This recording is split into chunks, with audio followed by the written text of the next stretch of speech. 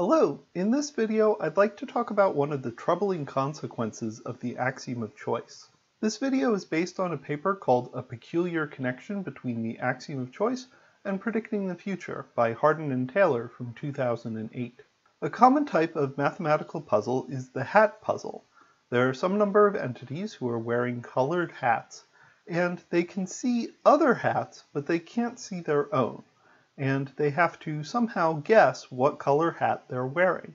For instance, one finite hat puzzle involves some number of cats who are lined up in a row, such that each cat can see the colors of the hats of the cats in front of them, but they can't see their own hat color and they can't see the hats behind them. So for instance, cat 1 can see all of the hats except its own, Cat 4 can only see the hats of cats numbers 5 and 6, and cat 6 can't see any hats at all. Starting from cat number 1, the cats will guess their hat color out loud, so that the cats in front of them can hear. The cats are allowed to coordinate in advance to come up with some sort of strategy, and the question is, how good of a strategy can these cats devise?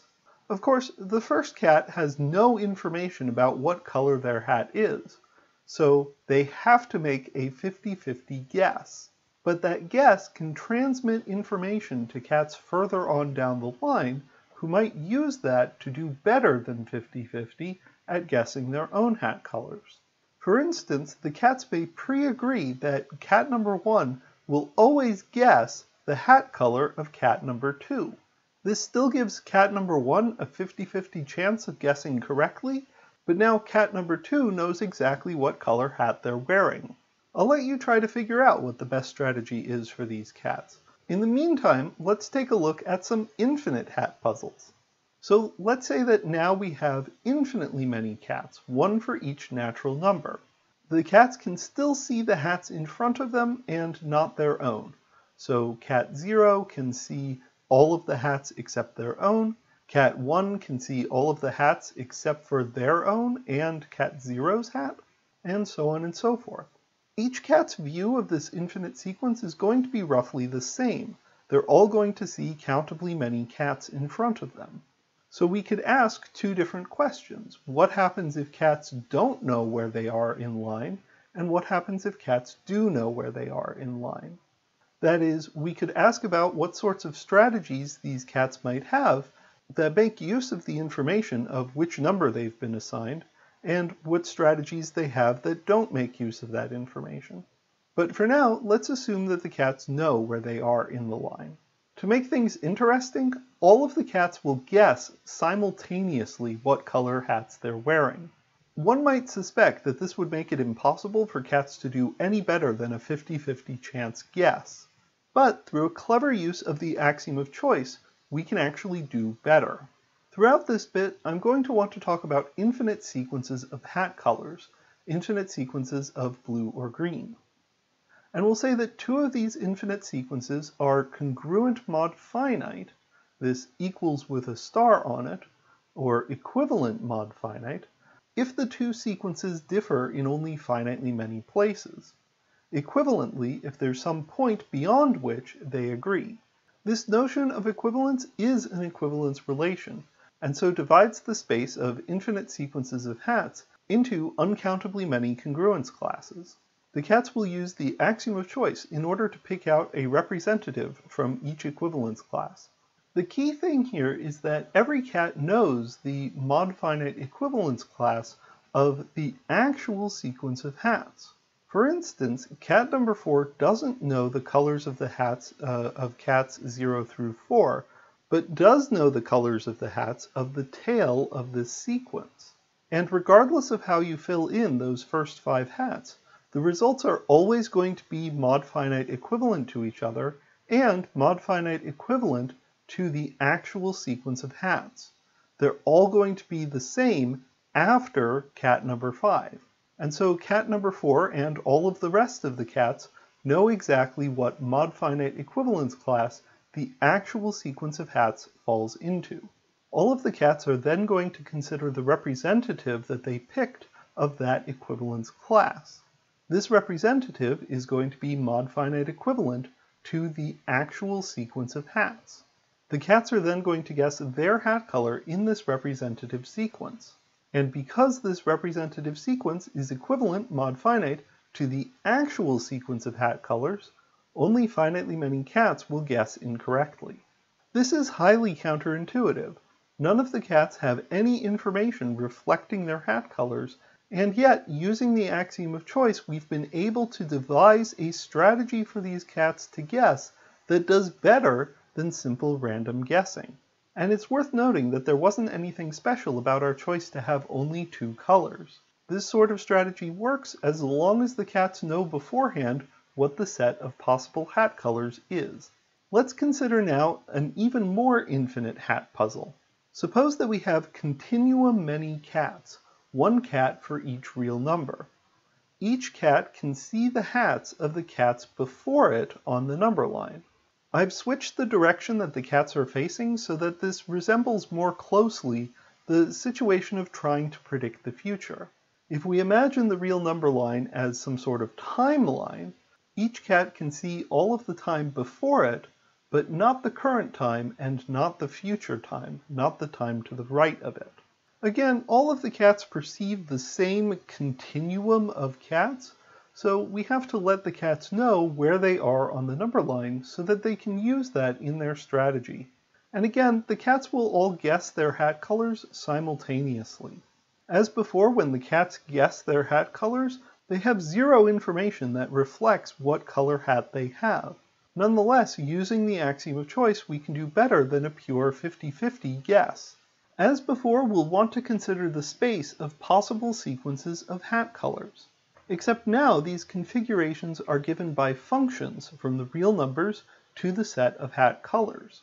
Using the axiom of choice, we can well order this set.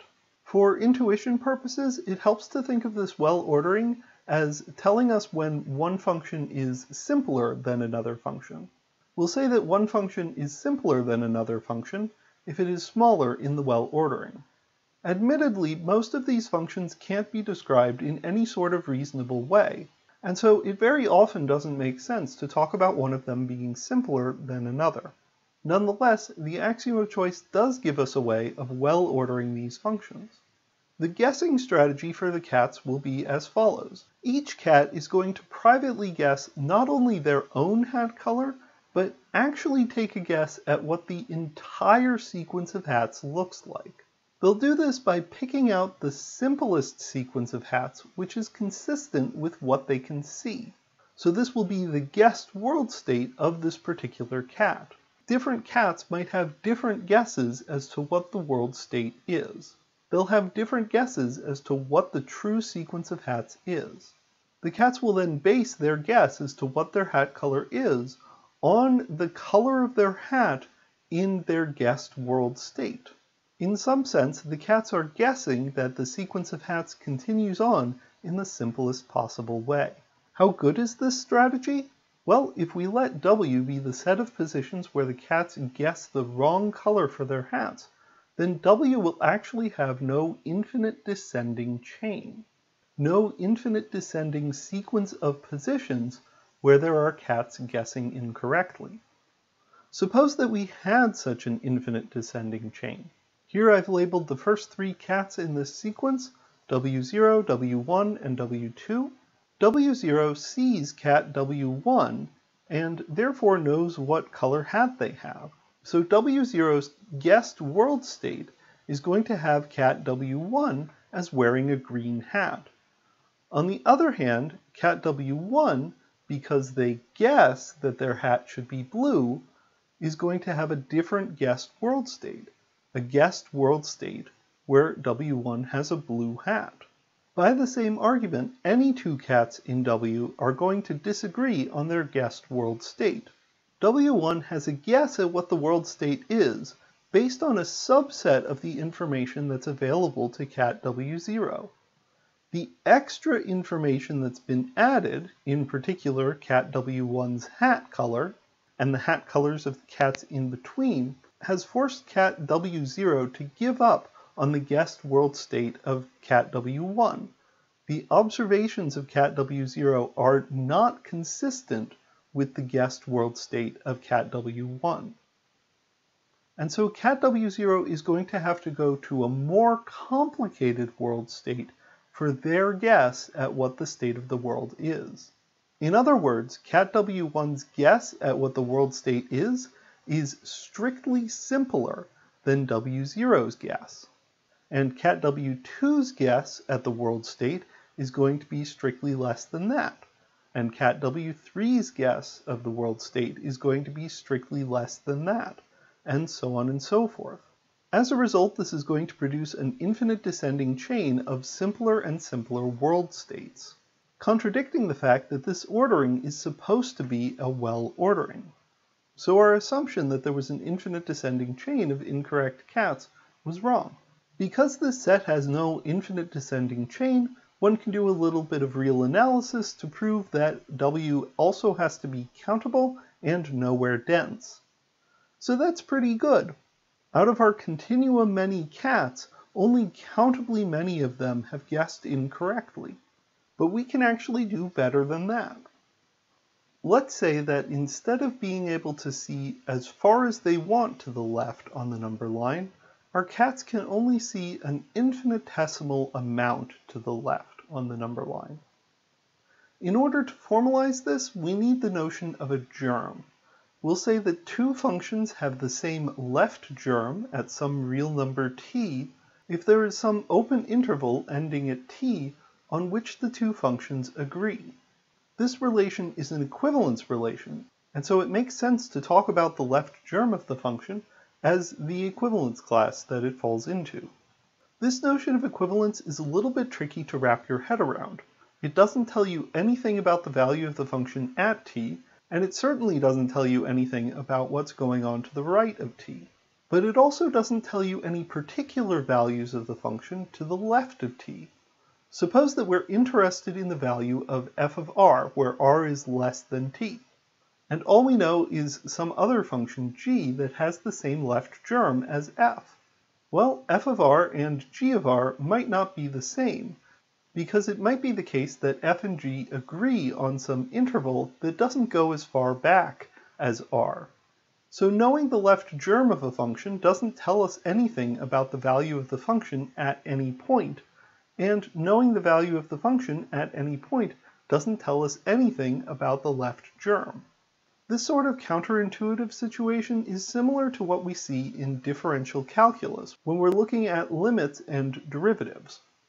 Knowing the limit of a function doesn't tell you anything about the value of the function at any points, and knowing the value of the function at any points doesn't tell you anything about the limit. And in fact, these notions are related to each other. Suppose that we have two functions f and g that agree on their left germs at t. That is, there's some interval up to t where they agree. Then the limit as x approaches t from the left of f and the limit as x approaches t from the left of g are going to agree with each other. So knowing the left germ is enough to tell us the left-hand limit. And if we know both the left and right germs, then that's enough to determine the limit as x approaches t of f of x. If in addition to the left and right germs, we also know the value of the function at t, this is the same as knowing some function g that agrees with f on an open interval surrounding t. And that's enough to determine the derivative at t because any two functions that agree on an interval around t are going to agree on the derivative at t. So let's set up our hat puzzle.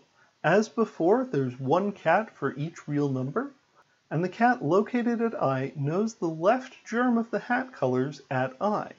This is worse than being able to see only on some interval uh, from S to I for some S. A good way to look at this is that cats have a guess of what the entire past looks like. They, they can pick out some representative of the germ, uh, some representative of the equivalence class. Um, but that representative is only going to be good on some interval up to I and the cat doesn't know what that interval is.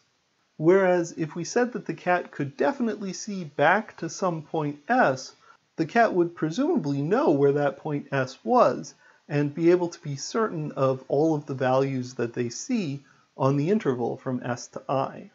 In reality, the cats have no idea how far back they can trust the representative of the equivalence class that they've picked.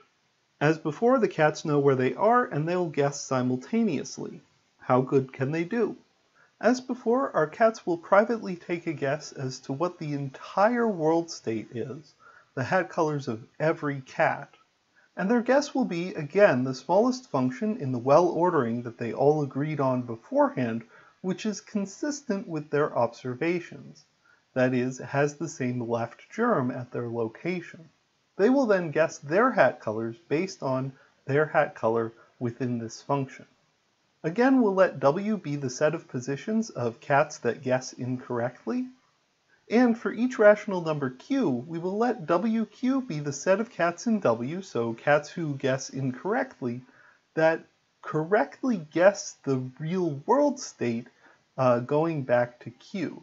That is, their guess at what the world state is, uh, is correct on the open interval from Q to their location. If we're looking at just the cats in some particular WQ, we can do exactly the same argument that we did before. All of the cats in WQ have correctly guessed the world state on the relevant interval, the interval from Q to their location and so it is as if they correctly perceive reality on this interval. So by the same argument as before, WQ must be countable.